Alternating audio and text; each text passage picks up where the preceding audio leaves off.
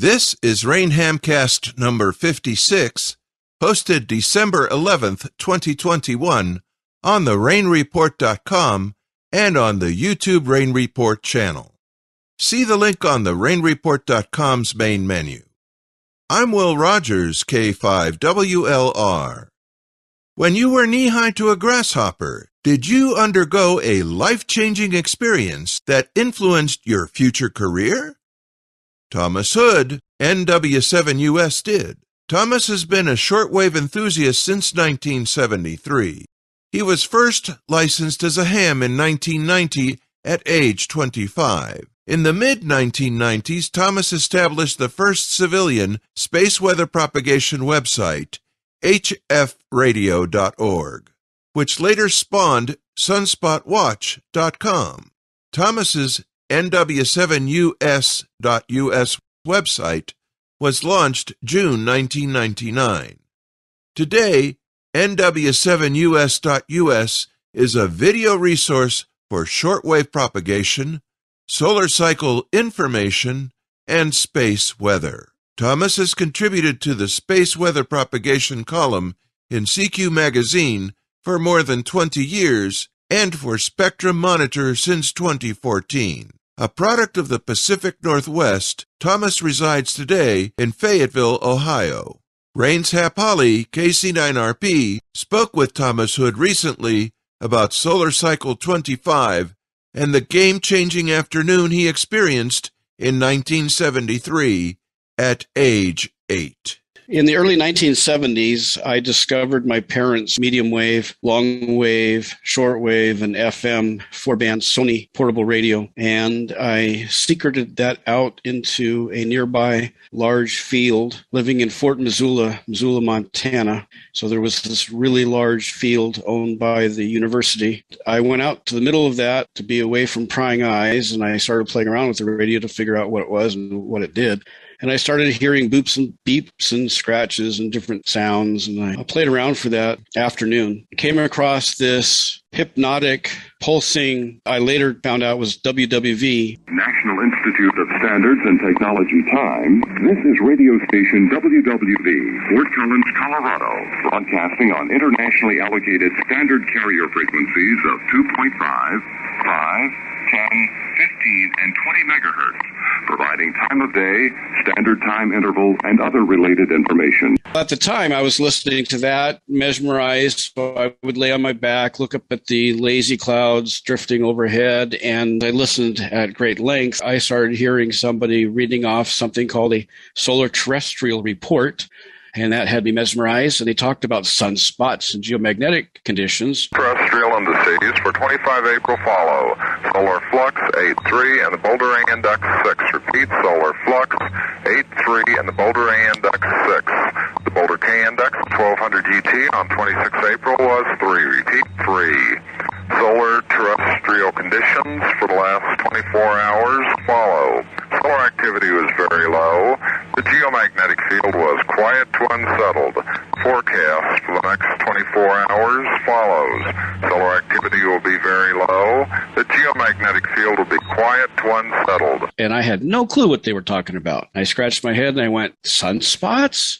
Spots on the sun? And thus began a lifelong exploration and love affair with space weather because I also at that time discovered shortwave, my love affair with ionospheric propagation. The moment I could get to a library, I started trying to find books on sunspots and shortwave discovered some unique things that were way above my head but still had me mesmerized found out that there was this thing orbiting Earth called Skylab, and that they had an artificial eclipse, and that they were studying the sun and solar flares and things. And little by little, I began to understand what I was hearing and what was being talked about. Fast forward. I started in the U.S. Army Signal Corps in the 1980s and did a little bit of a deeper dive into what was going on with signals and propagation. And finally, by the time I exited the Army, I was able to get my FCC novice license. That was my time to start learning when I transmit, where does my signal go? How does my signal get there? And that sort of thing. Around the mid 1990s, I started a web page on space weather with current conditions, and I had programmed scripts behind the scene to gather information from government websites sites and collate that into reports on space weather and propagation. So I was the first civilian space weather propagation website ever on the web. Still going to this point, sunspotwatch.com is the current domain, sunspotwatch.com. At about 2000, 2001, George Jacobs, the editor with CQ magazine that wrote on propagation, George reached out to me along with Rich Moseson of CQ magazine, asking me if I would like to take over George's column. So I began in 2001 as the contributing editor of, I'm calling it the Space Weather Propagation column because I've begun to educate a lot more on the mechanics behind propagation, especially ionospheric propagation, and how space weather has such a high impact on it. Then, about 2014, the Spectrum Monitor magazine, which is kind of an evolution of sorts from the Monitoring Times, they reached out, and I also began writing propagation columns with space weather information in the Spectrum Monitor TSM. So I'm actually writing at the moment for two magazines, CQ and the Spectrum Monitor. I do occasional space weather videos as well as videos on ham radio and propagation antennas and, and different things related to that on my YouTube channel, which is under my call sign, which is November Whiskey number seven Uniform Sierra NW7US. I got that call sign as a vanity call when I got to my amateur extra license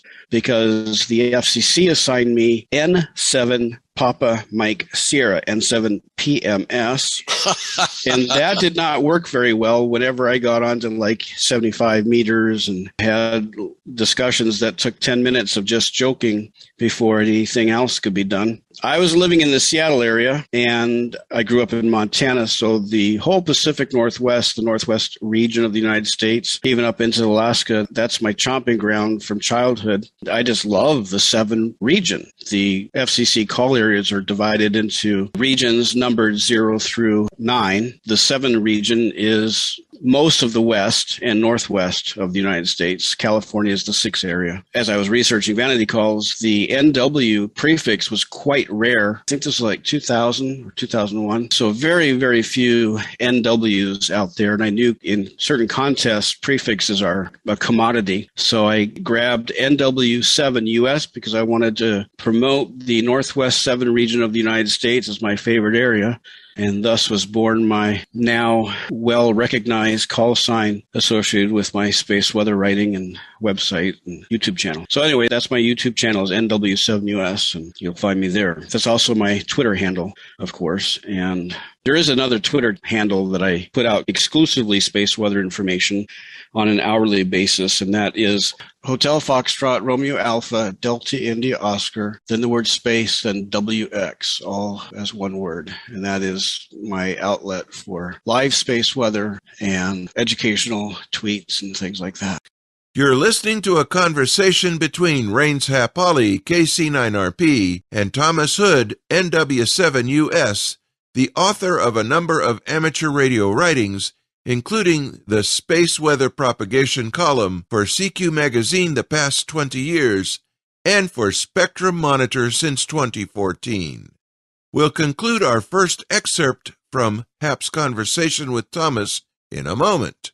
This is Rain Hamcast number 56 for December 11, 2021.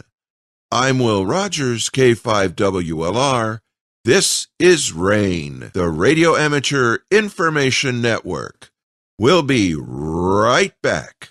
You're tuned to the Rain Hamcast from Chicago, available both on the therainreport.com and the Rain Report page on YouTube.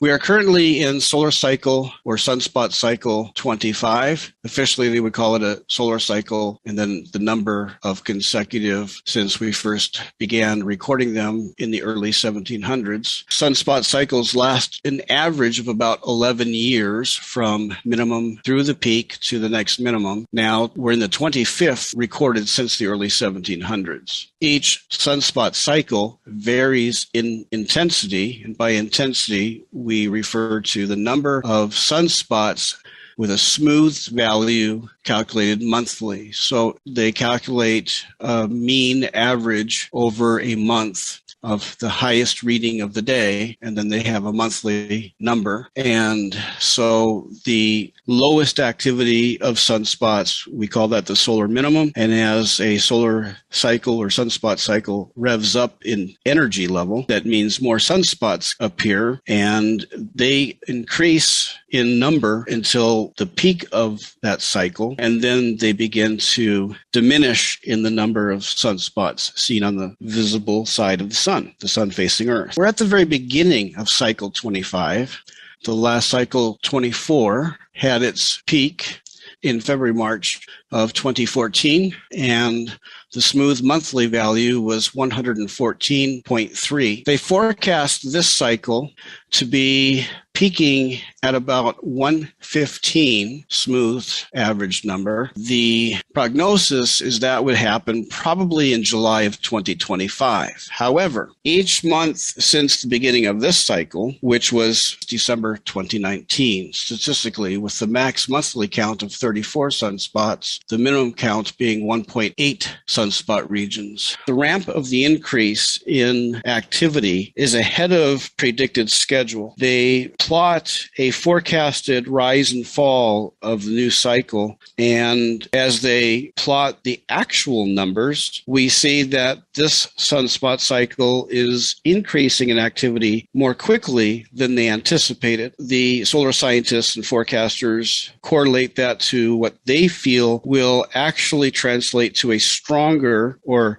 a higher peak than anticipated. So instead of the 115 as the average and peak number in July of 2025, it could be anywhere from 120 to possibly 140. All of this, of course, is conjecture, but they do seem to be getting better at forecasting. And that's simply because we now have more data points. We have more satellites and spacecraft that are out there monitoring the sun from different perspectives, different instruments, and they've refined models by which they make these forecasts, just like terrestrial weather weather, the more data points you have and the better the models become, the more accurate your forecasts become. Well, space weather forecasting is very young as a science. We've only been monitoring the sun on a daily basis for about 420 years, so it's a young science. And it wasn't until Skylab and since the 70s that we've actually begun detailed, intimate imagery of the sun to really understand its model and how we can base predictions on the observed. So it's getting better. I think we're probably going to find this cycle to be a moderate, possibly the same magnitude of cycle 24, or perhaps a little bit stronger. Now, what does that mean? Well, it means a lot of things. One, it means that the naysayers and doomsday people who predicted a repeat of the Maunder minimum, which was a period, a very extended, long period of time, the 1800s, when no sunspots appeared for many years in a row, we call that the Maunder minimum. These naysayers and doomsday preppers were thinking that maybe this cycle 25, because 24 was weaker than 23, they thought maybe 25 would be a dud and we'd see no sunspots at all and a repeat of the Maunder minimum. With its climate change and ice age type of repercussions, like the Thames River uh, freezing over for most of the year at the time. We don't have that happening now. At least it's not apparent that that's going to happen. We have a ramp up of the new cycle. It's following, generally speaking, the traditional rise activity and everything looks like on course to just a normal sunspot cycle. What that means for the amateur radio operators that signals on the shortwave spectrum and low VHF spectrum are going to drastically improve, meaning we'll have worldwide propagation on bands from 20 meters on up through 6 meters and perhaps even 4 meters, which is low VHF. 6 meters is common worldwide.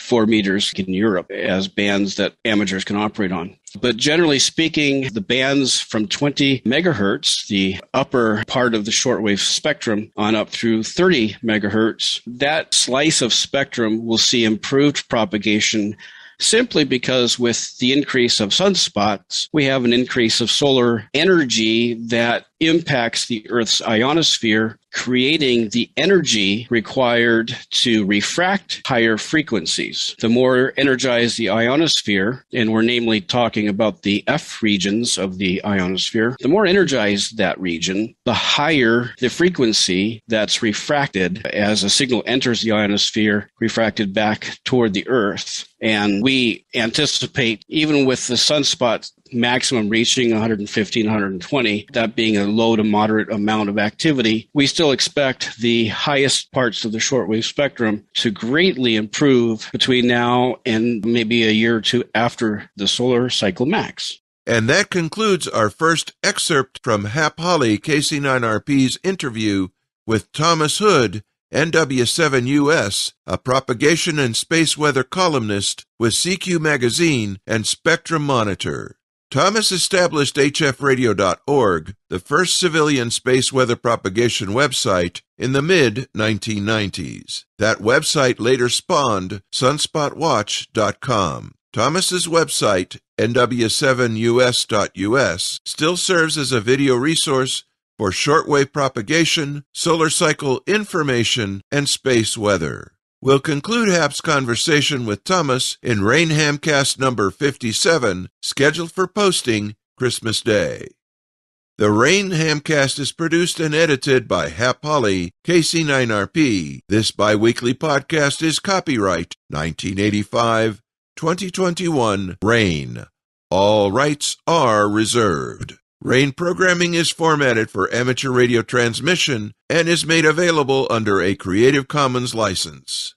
The downloading, sharing, posting, and transmission of this ham radio podcast via amateur radio in its entirety are encouraged. Your support and feedback are welcome on the rainreport.com. Thanks for YouTube's technical assistance from Tom Shimizu, N9JDI. I'm Will Rogers, K5WLR, bidding you very 73. Keep on hamming.